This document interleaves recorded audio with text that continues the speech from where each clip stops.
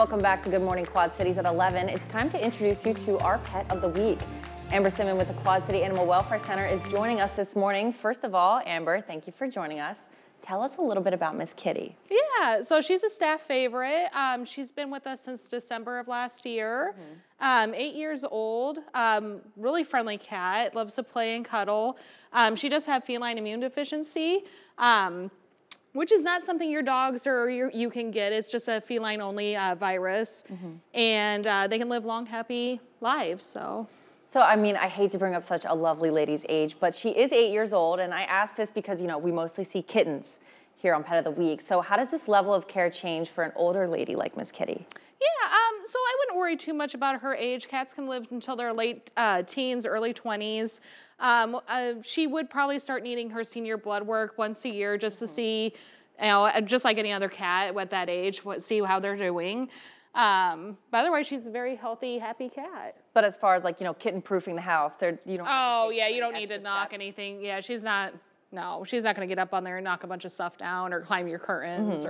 or anything like that. She's going to want to be on your couch with you. Perfect. So, what kind of home would she fit best in? You think? Um, quieter one. Um, I think she'll be a bit of a couch potato, so she'll want to play, but she's not going to be too crazy. So, um, yeah, a quieter home would probably be best. And you mentioned she's FIV positive, and we've had cats that were FIV positive on the show before, but for those who don't know, what is FIV?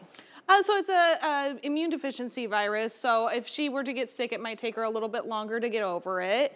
Um, but like I said, they can live long, healthy lives. So just regular vet checks, um, and you know, keeping an eye out for any any illness.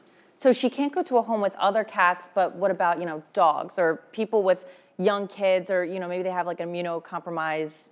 Oh yeah. No but it's feline only so she can definitely go to a home with other dogs um, kids um, cats as long as they're fiv positive as well. Okay so i didn't see anything else coming up for the rest of the month of october with uh, the quad city animal welfare center but First weekend of November, you have an event, right, at the Pour Bros Tap Room? Yeah, so it's a Paint Your uh, Pet fundraiser. Um, it's uh, $50 to register, spots are limited. And uh, the doors open at 6, painting starts at 6.30, and you can paint your own pet. Oh, that's so wonderful.